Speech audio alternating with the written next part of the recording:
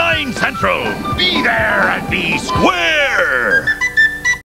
Burger King and the U.S. Consumer Product Safety Commission want you to know about the voluntary recall of this Pokemon Pokeball. The ball may pose a suffocation hazard to children under three. Throw the ball away or return it to Burger King. The safety of your child is of the utmost importance to us. The beavers are back to bite more boards.